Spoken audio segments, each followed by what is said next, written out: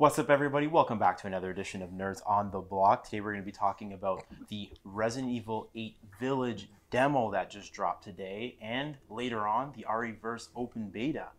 More on that next.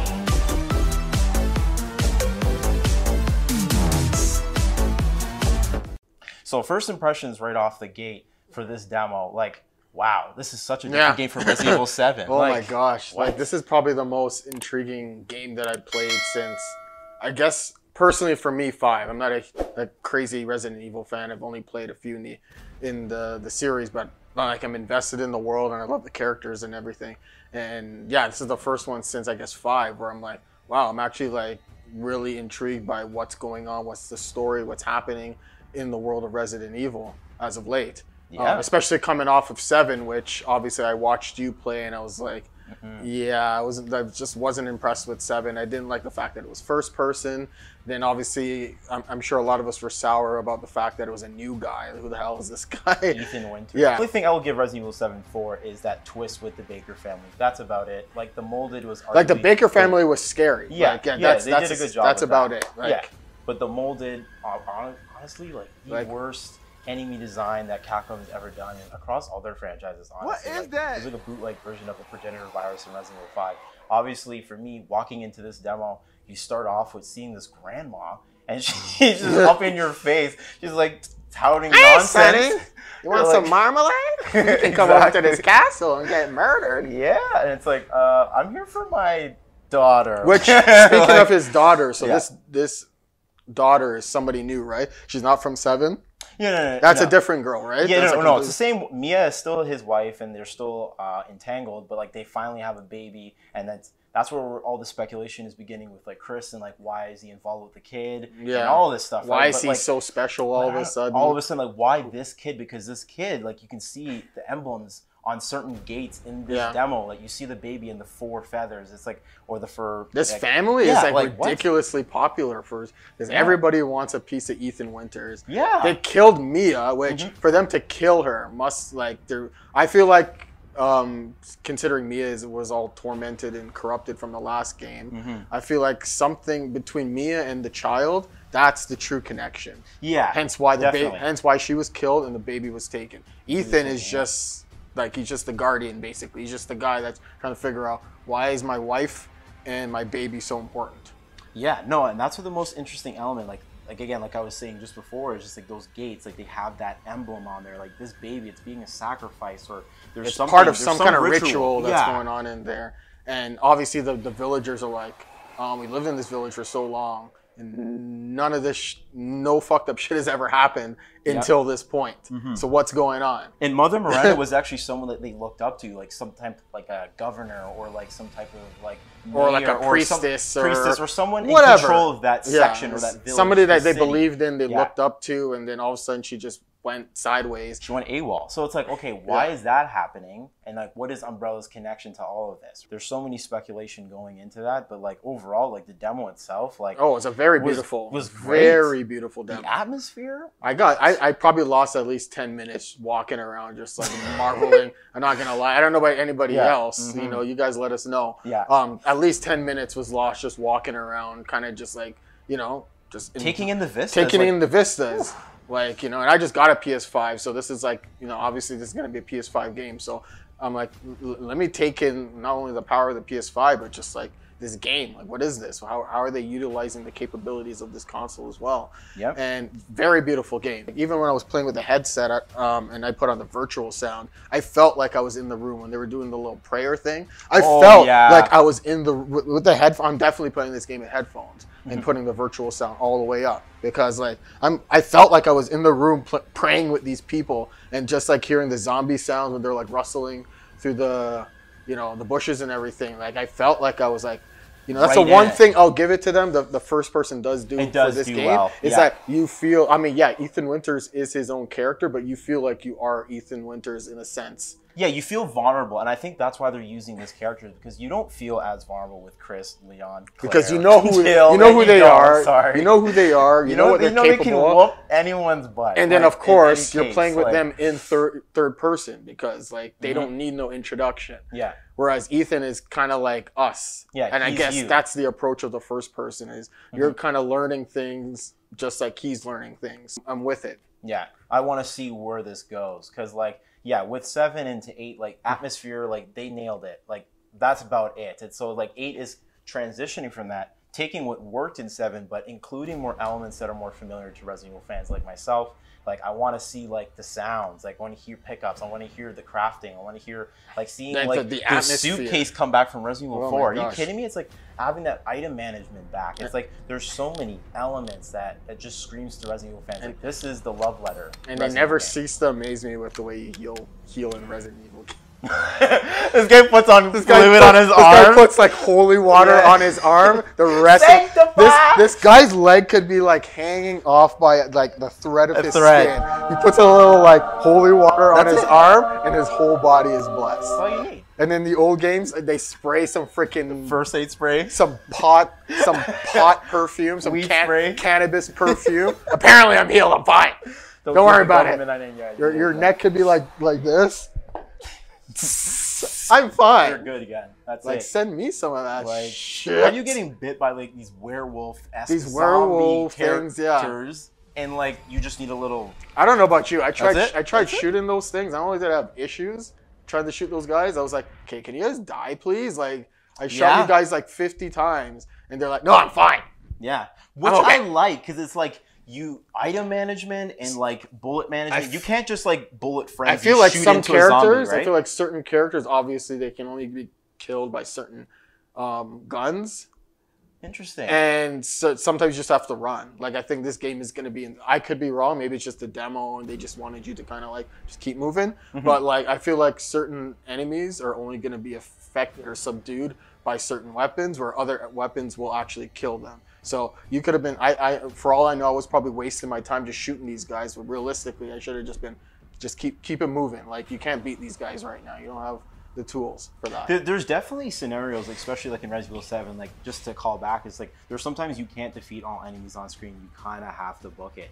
But like in this uh, scenario, there's only two real threats in this demo, like that you. yeah, do the rest see. it's like all the rest is kind of cutscenes and walking you through the vistas and seeing. It's still kind of a visual showcase, but at the same time, you get to feel like you are Ethan Winters and it's like a world that's lived in. And then of course So- you're seeing it earlier than a lot of people. So Yeah, like there you go. Yeah, I was a little disappointed by like this 30 minute thing. Yeah, I'm not that's- gonna lie. Like, it's yeah. like I want to play this multiple times. I want to see everything, even though I feel like I did a good job of like exploring in this. But it's just like, I Yeah, don't know. the 30 minutes I was kind of like, well, you can only do So one much. or two things. You can either just book it on through. Yeah. I think you could actually skip the cutscenes. But You why? can. But why would you? Right? But why is that But taking up would you? time? I was I don't even know if you noticed, but like time was ticking while a cin- Doesn't matter. playing. If you why? if you if you couldn't go to the bathroom, I made sure my No. bladder was empty No, because have like, you go to this everything every water. second counts and like Yeah. I, I you know I get it. They just want to give you the, the tease and it's really up to you. What are you gonna do? Are you booking it through? Are you skipping the cutscenes or are you taking your time and looking around and you know because there's definitely gonna be people that are gonna be doing that where it's like oh, Yep. I'm just gonna uh, look around. Next thing you know, they got like 30 seconds left.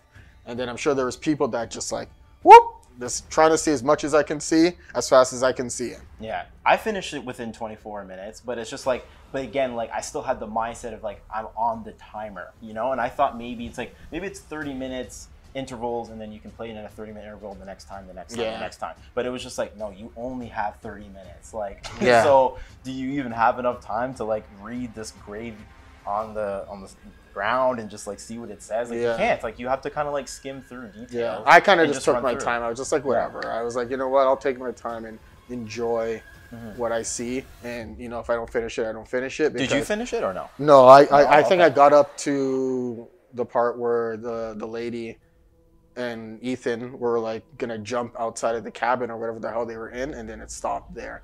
Because Oh, no. I spent a lot of time Yeah. just kind of just looking around and kind of just enjoying the ambiance and you know, all that. And then again, I was wasting time shooting those idiots for, Yeah. for way too long. Yeah, so, and there was this mine that you could collect and drop and like kill them. Um, I honestly did not deploy it. I was actually using my handgun and shotgun, uh, but like I did manage to kill both of those enemies, and I got to the end sequence where you can put in the two medallions, and it's like a little puzzle at the end, which I liked. It was like, okay, I'm feeling Resident Evil 4 vibes, but from a first-person perspective. Like, Yeah. I just I think they nailed that, man. Like, obviously, I'm as a big uh, fan of Resident Evil, I want to see Chris Redfield's inclusion and why is he in this. yeah, A he's gonna be a big mystery because Yeah, like, like, he man. he doesn't seem like he's the Chris that we all know. That we all know, but like so- neither was Resident Evil Seven. That didn't feel like Chris Redfield either. It's like Oh, what's yeah, your that was- inclusion with Blue was like- Umbrella? That was poverty, doing? Chris. That was Yeah, like that- that was that was like default no name brand Chris Redfield. I don't know what was. and that. they have the nerve to put him in the RE-verse beta. Yeah. But overall, the the demo, uh, first impressions for the Village demo. What did you think, Sean? Yeah, I, mean, like I said, um, very much invested in the story, the mystery, the intrigue. You know, I'm a, I'm, I'm not the biggest fan of like scary games. Like I, I prefer sci-fi thrillers. That's the closest I'll get to anything scary. but like you know, whenever a Resident Evil game does come along, that piques my interest. It's a big deal. So I really, I, I really enjoyed this, and I'm looking forward to picking it up and playing it for sure. Absolutely. For me, it's it's always about the the atmosphere. For me, when it comes to Resident Evil games, and they're really bringing that back. My favorite Resident Evil game of all time is still Resident Evil One, uh, and Resident Evil Five, and other entries. Uh, I'm just glad that this game it cares about its atmosphere, cares about its story, and I just can't wait to see how things unfold. I'm expecting a twist like RE7 uh, did with the Baker family. Yeah. Something with Chris, Yeah. we'll see. Because I just I can't believe he's I the believe bad guy. him. I can't believe he's the bad guy. I believe in them. But we'll see. We'll see. I believe in Capcom. I think they've learned a lot from Seven and what they're doing with these remakes. so we'll see what they have in store. Uh, next, we're going to talk about the RE-verse open beta.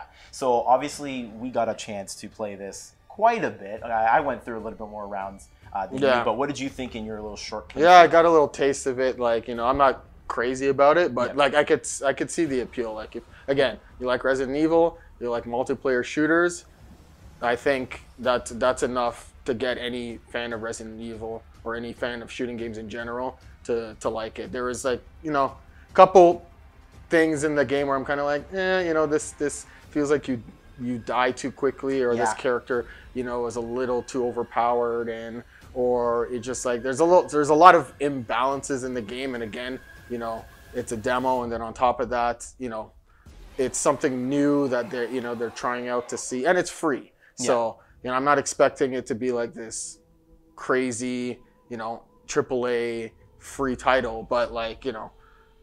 Uh, yeah, yeah. I thought it was fun. I, like, I'm not going out of my way because, again, I prefer the story as opposed to, Absolutely. or or at the very least, if I'm gonna play something on the level of multiplayer uh, versus, I'd rather us kind of like work together and you know take this base or like you know mm-hmm. kill these zombies like you know horde mode or whatever. Yeah. But um, ultimately, yeah, I enjoyed it, and I think anybody that's a fan of Resident Evil will enjoy it, mm-hmm. and It's worth checking out. yeah, it's worth checking out, and hopefully they they fine tune it and add new characters and new maps and whatever, mm-hmm. and make it worthwhile. Yeah, no, absolutely. For me, like coming from the background of like the Mercenaries, the raid mode, and the Revelation games, like to see a game that I feel like all fans have been clamoring for an entry to be like just plop all the Resident Evil fan favorite characters in Yeah. one game and let them duke it Just out. give me Mos So it's like, Eisley yeah. with Resident Evil style. Give me Billy Coen. Uh, obviously, there's some big fan favorites that have been left off the table. Like we I don't have Rebecca Chambers in this RE-verse beta, but like this is like again, it's the Resident Evil anniversary. We want to see all those characters be put into this game, right? Like it's this is the time, and obviously I want to see more things than just deathmatch. Like obviously that's fun and all, but like that's something that you know can get boring if you don't have multiple modes. And like we definitely need more maps, like you're saying. For me, like I found like certain character abilities definitely have an advantage over others. Like like Leon has like a kick, um, but like Chris has like immunity, so he can just like absorb that kick and then just punch Leon to the ground and kill him. Or like Hunk can go invisible and then just stealth kill you around a corner, and you're like, I didn't even like reload yet. Yeah, yeah. like and then Claire like. I don't know, like there's some things like Ada Wong has like this crossbow. Like if she hits you in the head, it's an Yeah. insta kill. I don't know if you noticed that either, but like Yeah. if she hits you in the head, it's insta. Like and obviously it's a one shot, so like they have to give her something. Yeah. But I feel like they need to do a little bit And I'm not- on balancing. And I'm not totally sold on the whole if you die, you come back as. As- uh, oh, really? As like, I'm not completely sold. I just feel like it's just. Like once you're dead, you should just be dead, and that's either you respawn as the same character, or you know, it's just heroes versus villains. Like, I don't feel like it needs to be like you kill the person, then basically you're waiting for them to come back so you can kill them again. And nine times out of ten, you kill them, they kill you. That's that's basically what it is. Yeah, and then Yeah. there's revenge kills. Th- those are the incentives, but I see what you mean though. But like that's why another mode can nullify that and be like, hey, like if you feel like the fatigue of like I don't want to change character, I just want to be Leon straight up. So like that's where they need to include like a heroes versus villains maybe, or like three v three or two v two or or something like that. Because versus was a, a mode in Resident Evil, and I feel like they did look a lot at that and what they could implement in a game of this nature. And I feel like they did a lot of cool things with this, but again, it is a beta, so like you know, hopefully they're looking at this data that we're talking about now Yeah. and they're going to be like, hey, like we've heard you, we're going to include all that stuff. We're going to have staples in the Resident Evil series. Like you play it in the RPD uh, police station, which like you know Leon and Claire's story uh, goes from in Resident Evil 2. So it's like, okay, that's one landmark. What about Resident Evil 1? What about Spencer Mansion? What Mhm. about like all these other landmarks that are in the series? Like that's what people want to see. And Yeah. so overall, I said the beta is is pretty good. Definitely needs a lot of work uh, for if you if they want this to be a multiplayer game that people are going to be playing more than just a week. You need to add to Yeah. that. It can't you can't just rely on one Especially when it's deathmatch. competing with the story mode and it's competing with mercenaries. Mercenaries, yeah. You got you, got a lot to work on to get lot. me to pull me away from Those two basically mercer- mercenaries. Basically. which unlocks after you beat the campaign in Resident Evil 8, which will be worth the wait. But like again, like once that game's completed, what's to say like I'm gonna play Mercenaries over RE-verse beta? Mercenaries definitely looks like Yeah. more appealing. Yeah. So we'll see. But overall, those were our impressions of the Resident Evil demo and the RE-verse beta. If you got a chance to try it out, let us know what you thought in the comments down below. Like this video, share it, and subscribe to Nerds on the Block for more content from us.